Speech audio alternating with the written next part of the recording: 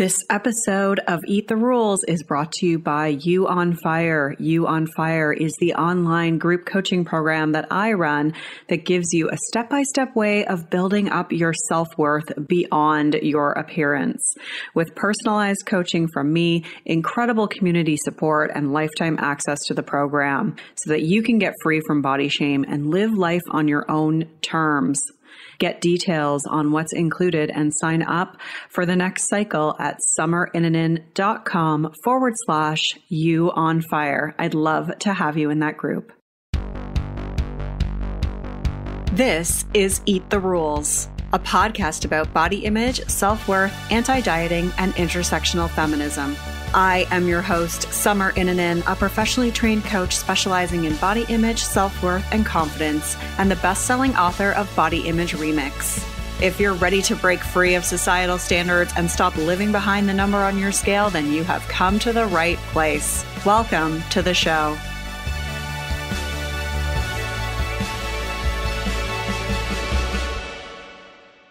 This is episode 267, and I'm joined by Martinus Evans, author of Slow AF Run Club, creator of the Slow AF Run Club, and the man behind the page 300 Pounds and Running.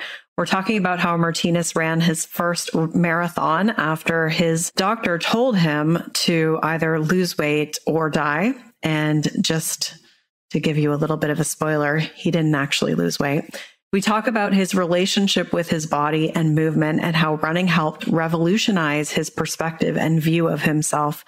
We talk about how to overcome barriers to moving your body and why every body is a runner. You can find the links mentioned at summerinnanen.com forward slash 267. I want to give a shout out to Maddie L99 who left this review. Summer makes you feel great about being you. Fantastic podcasts. I always listen to Summer's podcasts in the morning when I'm doing my makeup. She makes me feel like I can face anything. I have recommended this to so many of my friends. Thank you so much, Maddie. It's always so nice to hear that you recommend it to other people. I really, really appreciate that. You can leave a review for the podcast by going to Apple Podcasts, search for Eat the Rules, click ratings and reviews, click to leave a review. Don't forget to grab the free guides that I have. If you want support feeling better in your body, get the free 10 day body confidence makeover at summerinnanen.com forward slash freebies. And if you are a provider or another type of professional who works with people or students who may have body image struggles, get the free body image coaching roadmap at summerinnanen.com forward slash roadmap.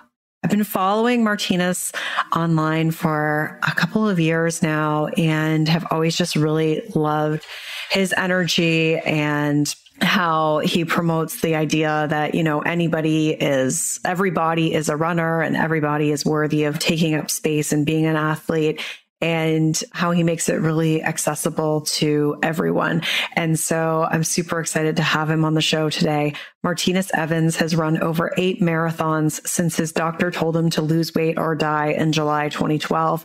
Since then, he's also coached hundreds of runners and founded the Slow AF Run Club, a community of over 10,000 members worldwide. He is also the author of the book Slow AF Run Club, the ultimate guide for anybody who wants to run. When he's not running races around the world, he enjoys speaking passionately about issues related to size inclusivity, mindset, DEI, and mental health. Let's get started with the show. Hello, Martinus. Welcome to the show. Summer, thank you for having me. I'm so excited to have you here. I was saying we haven't had a man. Actually, no, you know what? I did have a man on the show this season, but he wasn't talking about his own relationship with his body or anything like that, or his own relationship with movement. So we haven't had someone on to really share, you know, their lived experience in in quite a while from that, from the male perspective. So I'm super excited to have you here, and especially because your book is coming out, which we are very, very excited about. And I'd love for you to start off just by telling listeners, like, why did you decide to run a marathon? Oh, man. it's a little bit more complicated than me being like, well, you know, I just woke up one day. To even take a step further, back in 2012, I was working at Men's Wearhouse at the time. So I was on my feet eight to 12 hours a day in hard bottom shoes, wearing suits, right? And I started to develop some hip pain and I went to go see a doctor. And I never met this doctor a day in my life. It's my first time meeting this doctor. And he was telling me, and I, and I was telling him, you know, I'm, I'm, having some hip pain, yada yada yada. And he's like, "Okay, I know, what's, I know what's wrong with you. Okay, what, what's wrong with me?" He was like, "You're fat. You either need to lose weight or die." And I was like, "What?" Wait, what? and for a second, it didn't it didn't it didn't catch on for a second. So I was like, so what that got to do with my hip? Oh, you're trying to insult me. So then, you know, we have this argument and this debate because he went on, like, you know, you got a stomach as a pregnant woman, all this other stuff. You need to start walking and blah, blah, blah, and yada, yada, yada. And I remember being like, well, what does any of that have to do with my hip? And then, you know, he continued to go on, finger thumbing, thumbing his nose, pointing, rah, rah, rah, rah, rah. and I remember being like, you know, if I wanted to, I can run a marathon. And he he laughed at me and told me that's the most dumbest thing he heard in all of his years of practicing medicine. And I was like, screw this, screw you. And I left. And on my way home, I drove past a running shoe store and I bought running shoes. And that was like the start of my journey. Wow. Wow. Did you have any desire to run before that? Absolutely not. no. okay. you know, born out of spite. it was born out of spite. You know, I was a weekend warrior. So the Men's Wearhouse I was at, they was big into like flag football. So we played flag football almost, I won't say every weekend, but a lot of times throughout the time I was working there. So I played flag football a lot. I you know, played basketball with friends and things of that sort. Like I was relatively active, right? But like running for fun, mm, that was a punishment when I played football. Yeah, yeah. Like when you were training for the marathon, were there points in time where you like, what am what am I why did I why didn't I choose a different sport? Yes. or why like, did I pick this thing? There were times when I was like, dang, like why you couldn't say like I'll swim or a bike or something else, underwater basket weave. Like you chose running, huh? And I was like, yep, chose running.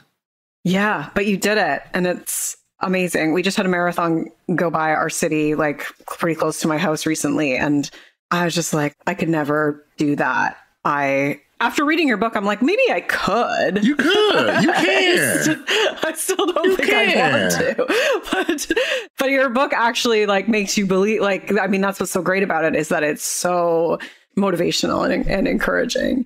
What was your relationship with like with fitness before? Like when you were, you know, when you were growing up, like was it something that y- you were into or was this kind of like a catalyst that really propelled you to like kind of focusing more on it as like a pursuit?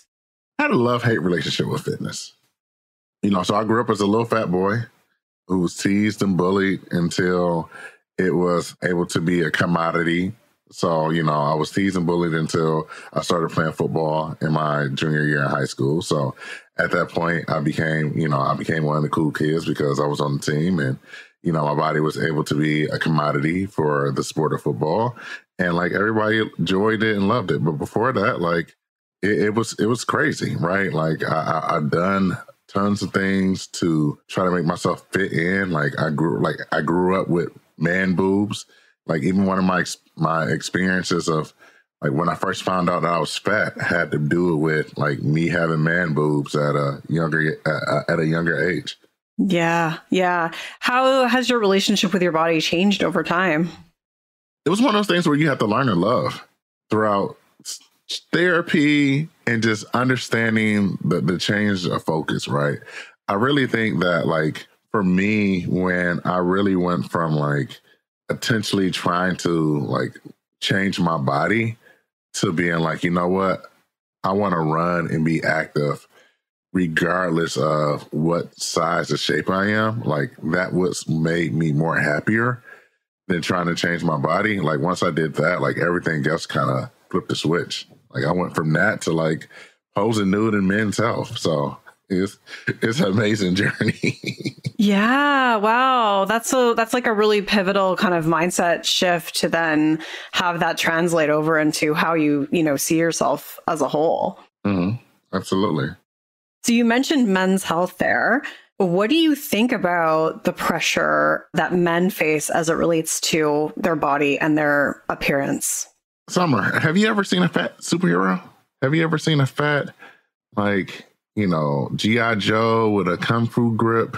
No. Fat No. Superman or Spider Man or a- any other superhero or toys that boys play with? No. And I have a little boy. So no, I have not. And I've, Oh, yeah. Oh, well, it's there. you know, it- it's in it's in our toys. It's it's in ingrained of like what the messages they send to boys. It's there. There's no way of getting around it, and I experienced that as well. hmm Do you see it getting worse? Like I observe it, like the the kind of standard for men becoming almost like worse, like more muscular, more like shredded, so to speak, than it maybe was like 10, 20 years ago. I would say with the advent of the Marvel movies, like all of the MCU stuff, where like superheroes really became like the mainstream thing that we consumed. Any Marvel movie or just any movie, like the press is like, oh, look at, you know, such and such body, like follow such and such training body to get this jack to be become Thor or whoever, whoever, right? So I think that it's always been there, but I think that with the advent of like most of our modern media being or like you know things that we watch being like these superhero movies and things of that sort that's been the most successful it's it's there right? I, I think about when creed 3 came out. Was it creed 3 one of the creeds right? When you know they had both of the actors being like look at their workouts. Like look how they transformed their body to do x y and z and yada yada yada. It, it's there. Yeah. And oftentimes it's like extraordinarily disordered and it but I find when they talk about it as it relates to men, it's more uh, like normalized and so I mean it is as well with women or any gender I should say, but like it's it, it seems it, it kind of goes under the radar of being labeled disordered. You know what I mean? It's like, oh, they're biohacking or oh, they're just like, you know, like building muscle. But a lot of times the behaviors are the same, like disordered patterns that you see across all genders. absolutely Yeah. So I want to talk to you about your book. Like, what inspired you to write Slow AF? Do you want me to? Do you say the word? Like, what's the best way to do it? Do you just do you just do you say AF? yeah, we, we say slow AF. You know, I like to keep the like to keep the AF ambiguous. You know, never know when Disney might come around and be like, "Hey, we want to buy your turtle" or whoever. So, you know, I try to keep it. I try to keep it a little PG thirteen, but we all know what AF mean. But the reason why I wrote this book, so my world revolves around Slow AF Run Club. So I have a club. We have about 10,000 members worldwide. I'm wearing this merch, you know, this wonderful hoodie. Everything I do, everything in my life revolves around Slow AF Run Club. So as I was training our members, both on a one-on-one and uh, group basis, a lot of members asked me, "Hey, Martinus, are there any books that you recommend that we read, or like, are there any books that we can learn how to be more of a better runner?" Yada yada yada. And most of the time, my answer was no, because most running books are written by, well, most how-to running books are written by elite athletes, you know, or former elite athletes or coaches of elite athletes telling you how to run fast like them. And for the majority of the population, that information is useless. You know, that information is just, just flat out useless, right?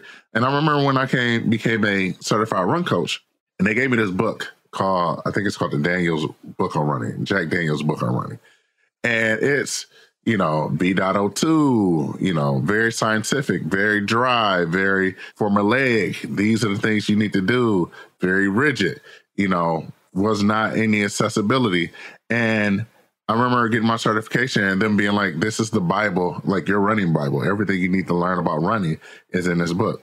So imagine, you know, trying to train your first person and their pace is not in the pace chart in the back of the book. You know, how does that how does that really equip you to be a run coach, right? And one of the things, the other things I learned about is that, like I said, most of the information there was not tailored to the individuals that I coach. For example, like they need information of like, hey, Summer, you finna go run for the first time. Don't wear cotton underwear. Don't wear cotton anything because you're going to be chafed. The chafe monster is going to get you. Or like, hey, you think, you know, you're going to miss a meal or like not eat before you go run. Let me tell you a time where I did that and I ended up on the side of the road and I had to call my wife to come get me.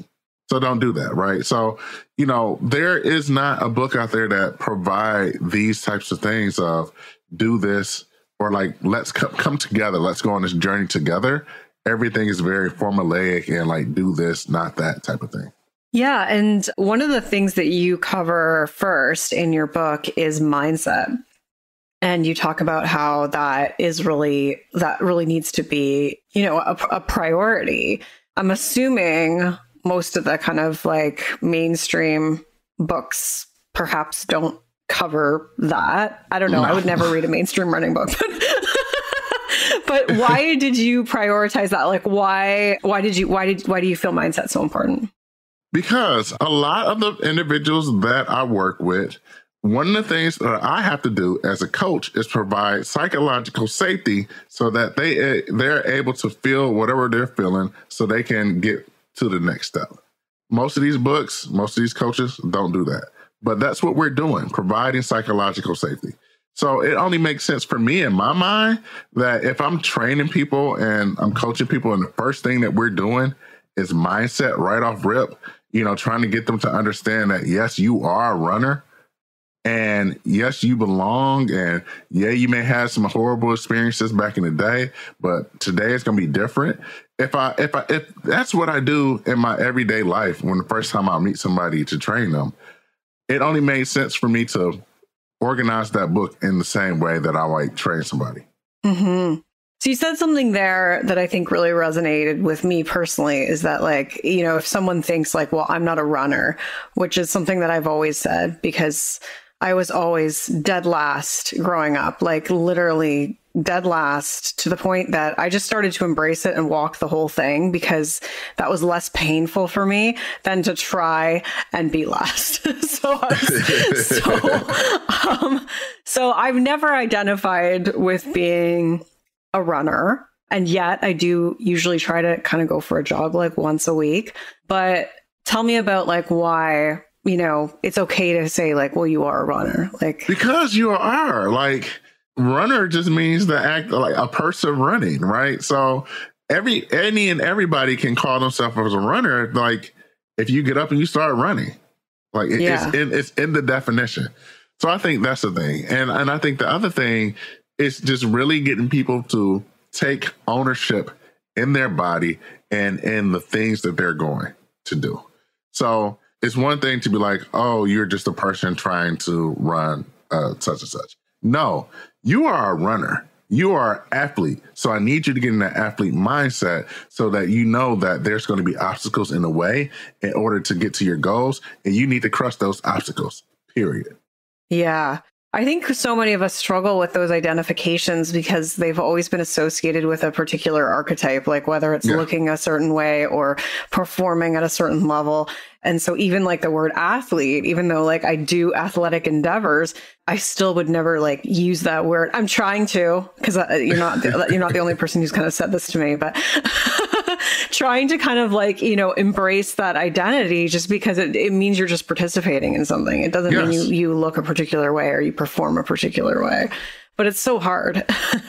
you know, calling yourself an athlete, calling yourself a runner means that you're in it. You're in the arena. Yeah. So if you are in the arena, you got to do things that that solidify that you are in the arena.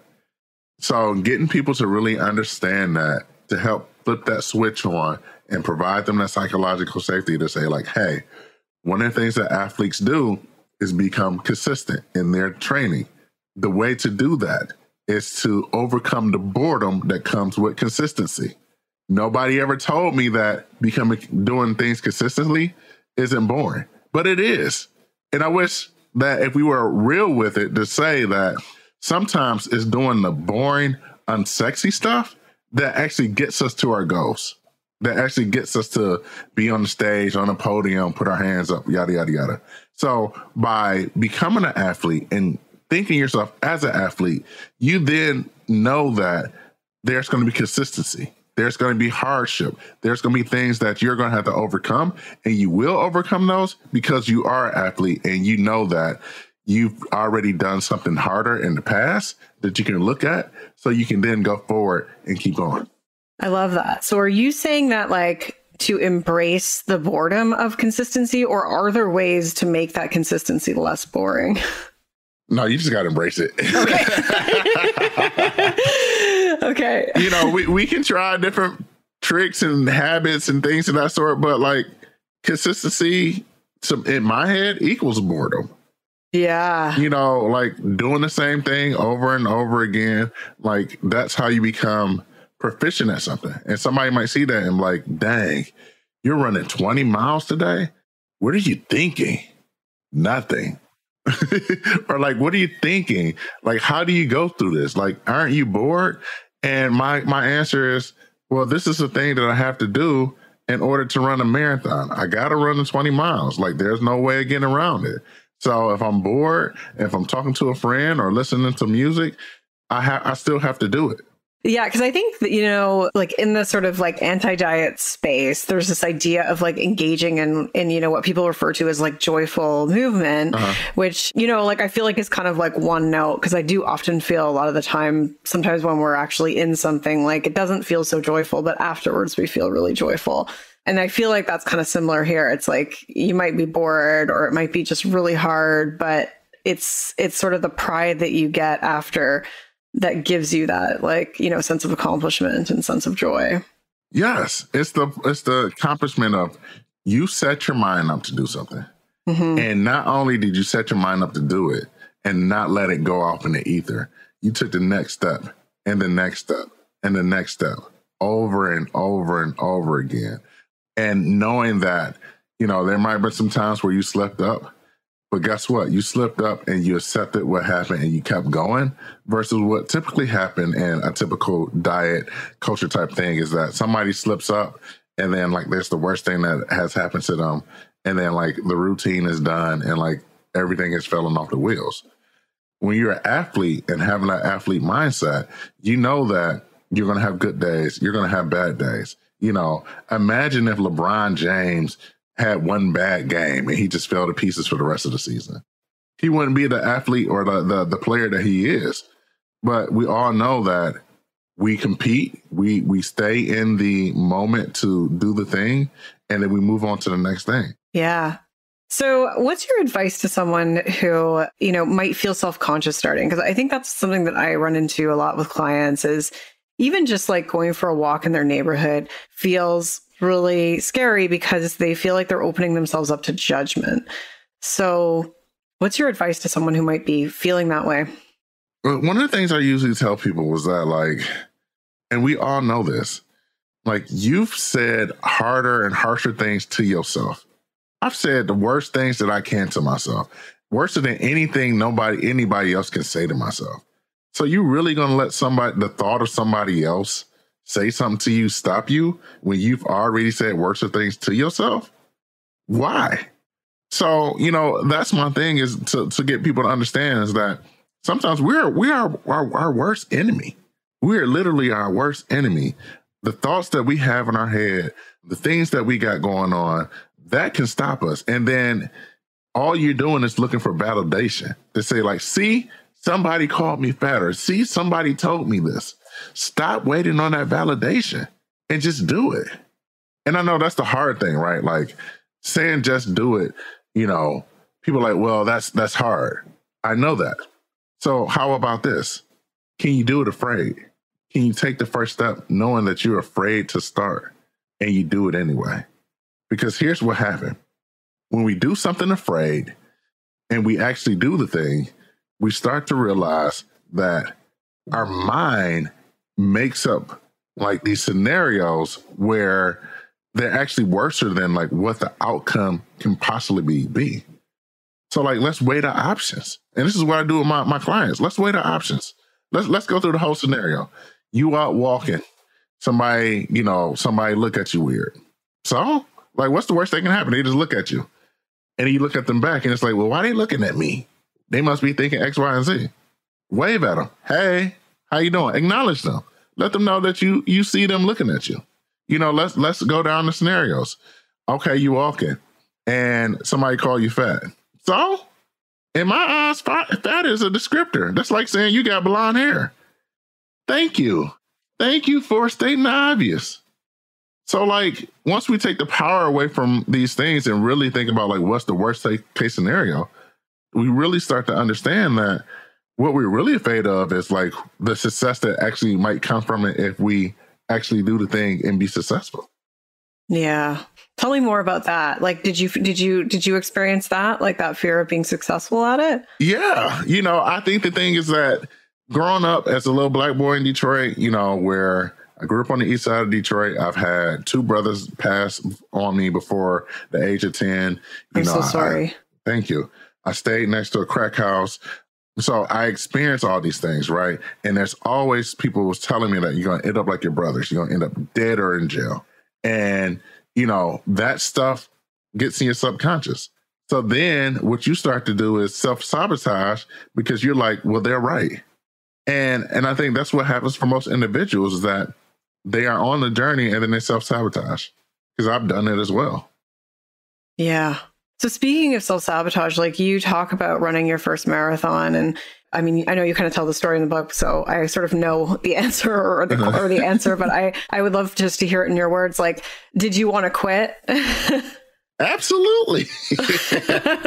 Absolutely. Even when I go running now, like people think like, oh, like that urge to the quit just goes away. No, it's still there. okay. How do you work around it? Uh, one of the things you you start to realize is that it's usually once you get past like the first 10 to 20 minutes that feeling goes away. It's almost like so when i was writing the book and this is how more or less i think about all things in in journey of life right is you got to break it down to the most simplest things. So when i wrote this book they told me all right Martinus we need you to come back with 75000 words. I re- and I remember being like 75,000 words. What? So like when you look at that big number, you are like, "Oh my god, I don't know how to do this. I can't do this. I suck as a writer, all this other stuff." And one of the things that I did was like, "Hold up, wait. Let's let's really break this down." All right, I have 75,000 words. I need to have it done in let's say 18 months. All right, how many how much do I really want to write on this? And then when you start breaking it down and start chipping away at those those objections, you really see that it only takes 250 words a day for four days a week over 18 months to get to 75,000 words. The same thing is true with exercise and fitness, right? Like all of that stuff builds upon the top of each other. So the thing that we're really trying to do is build momentum. And once we get momentum, it's it's harder to stop. Yeah, I think that's so true, right? And it's even like when you talk about it with running, it's probably just a matter of like just put on the shoes and go outside and just move them for like five minutes and then see, yeah. you know, what see. happens. Yeah. And then most of the yeah. time, what happens is people are like, well, I'm out here now. Yeah. So you might as well keep on going. Yeah. Yeah. So when you trained and prepared for your first marathon, like how long did that take you? Like from when you were at the doctor's office to when you decided like you were actually gonna like you know the first marathon that you ran how many what was the time frame there? So it took me about 18 months from when i met the doctor to when i actually trained for it.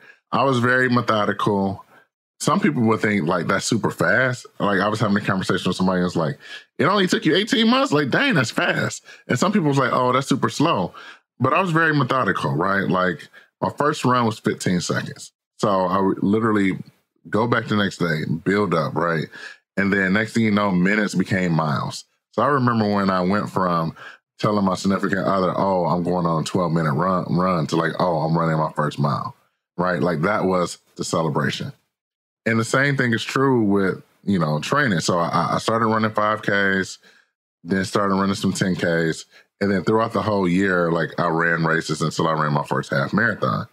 And by then, like the year was kind of over with.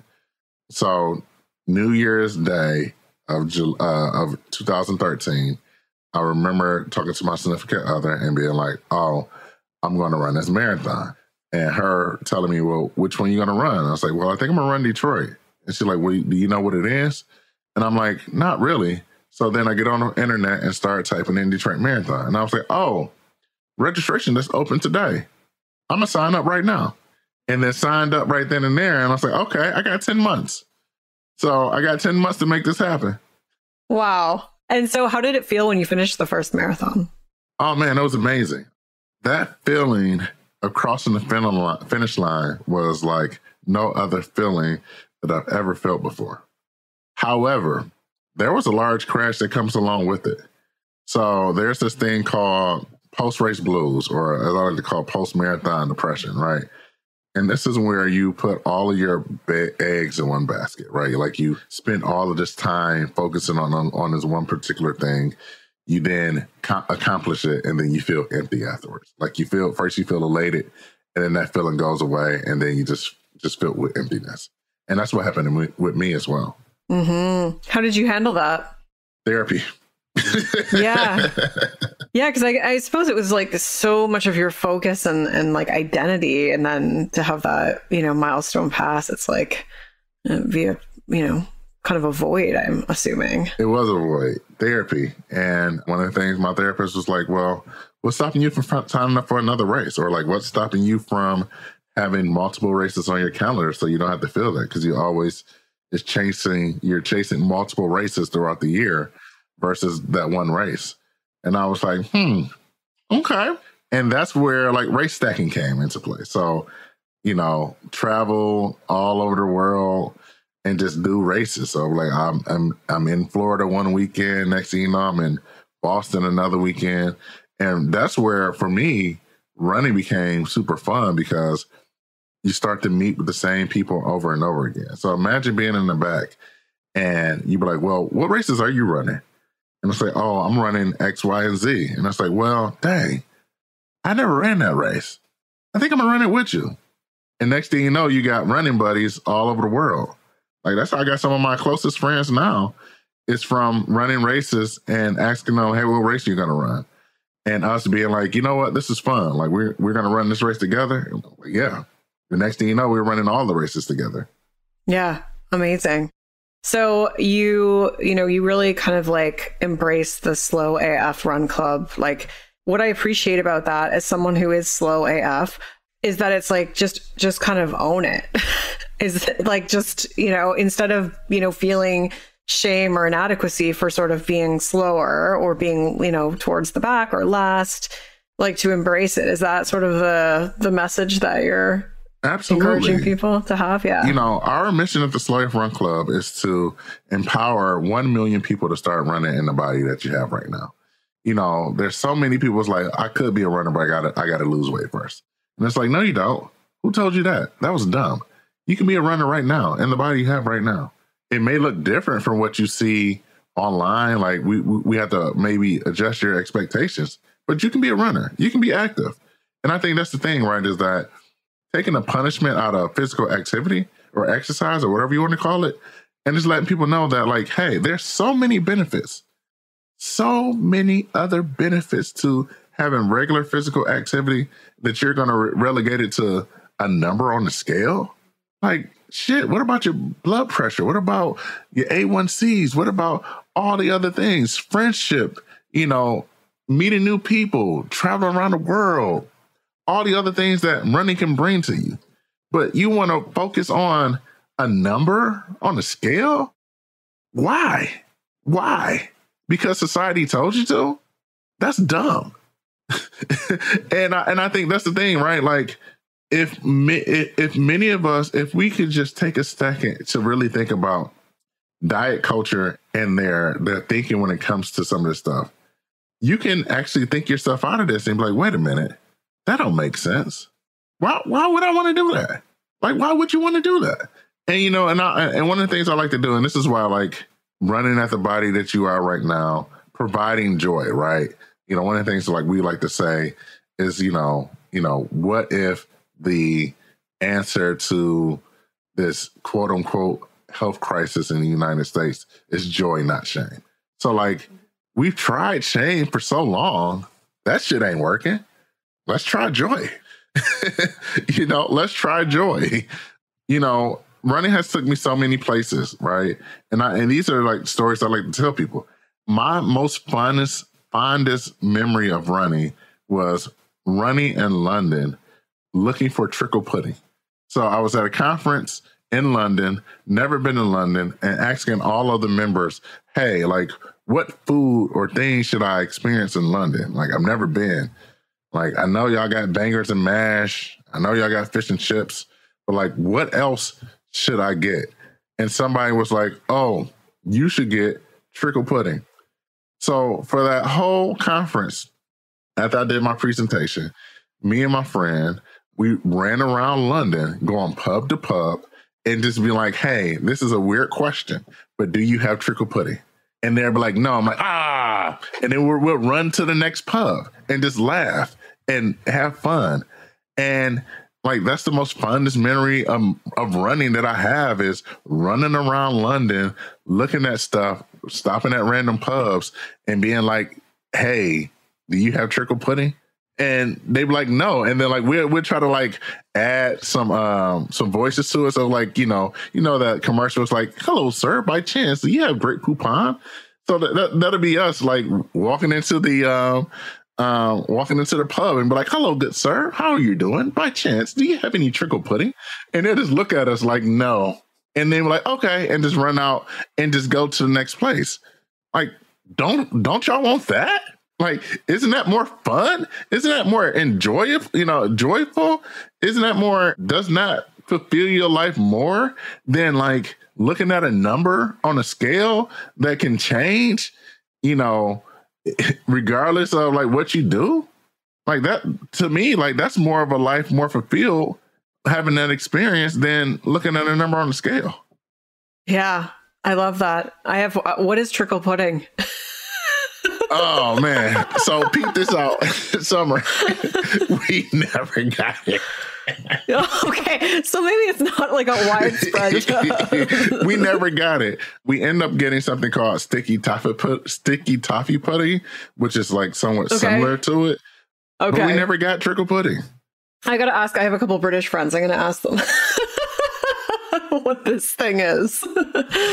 Did you ever go back to the doctor to say, "Hey, I ran a marathon"? Unfortunately, not. I moved around a lot, so well, first I wasn't planning on going back to the doctor anyway, but I moved around a lot. So, you know, after I seen that doctor, I end up having to go to another doctor so I can get properly diagnosed to get together. So went through that doctor, went to physical therapy and things of that sort. And then after that, I kind of moved from that state. So I was in Connecticut, so I moved, and he just became like a mythical story than like the actual person because like he can walk right past me and I wouldn't even know or know what he looked like. I know what he, you know what they say. People forget what you say, but they they'll remember how how you made them feel, and that's the same mm-hmm. thing.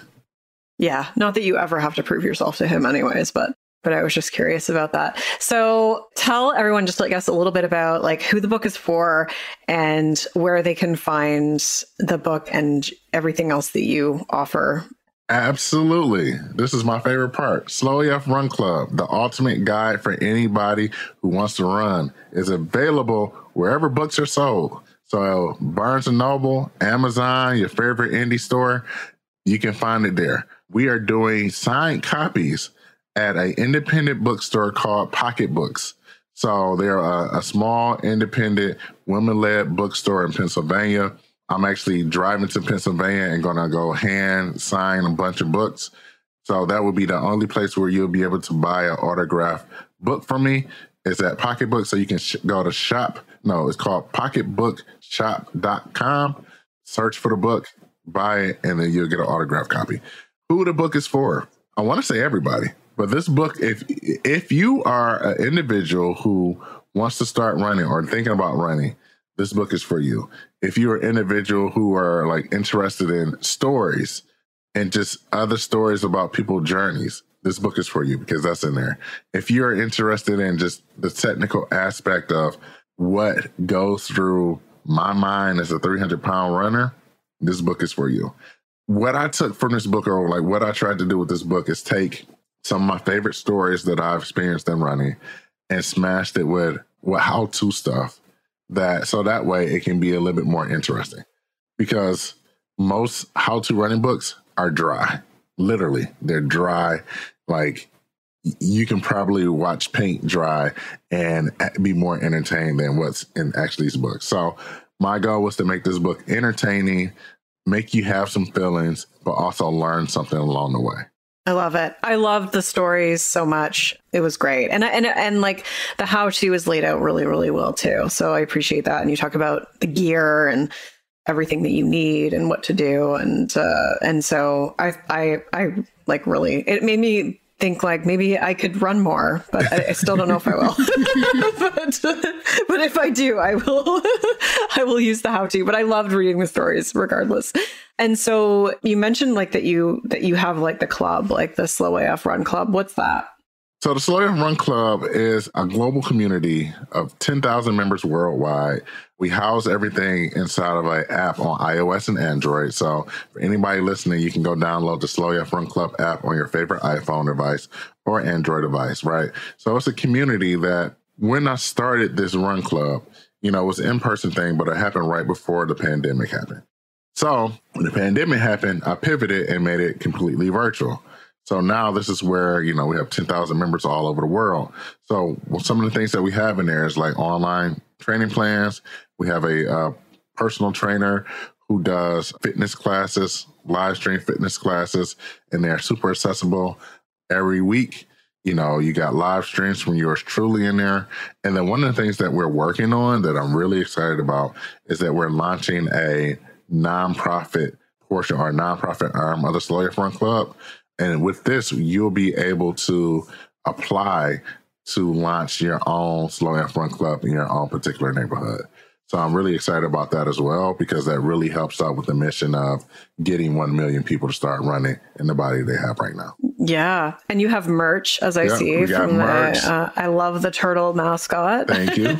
we have merch. Our merch goes from size, uh, in most cases, maybe extra small to size 6X. So we're super accessible. Yeah, I love it. Amazing. And of course, I'll link to everything else. You have a podcast, you have your Instagram. I assume you're everywhere else, but I'll link to all of it in the show notes. And I just want to say thank you so much for being here today, Martinus. It was really great getting to know you better. Thank you for having me, Summer. Rock on. I love that conversation. I hope that you check out Martinus online at 300 pounds and running. And if you want to run or even just be inspired by someone who has overcome and done so much to do something as incredible as running a marathon, which like I can't even fathom doing for myself, then definitely pick up a copy of the Slow AF Run Club book that is coming out on June 6th. And you can find all the other links mentioned in this episode at summerinnanen.com forward slash 267. Thank you so much for being here today. Rock on.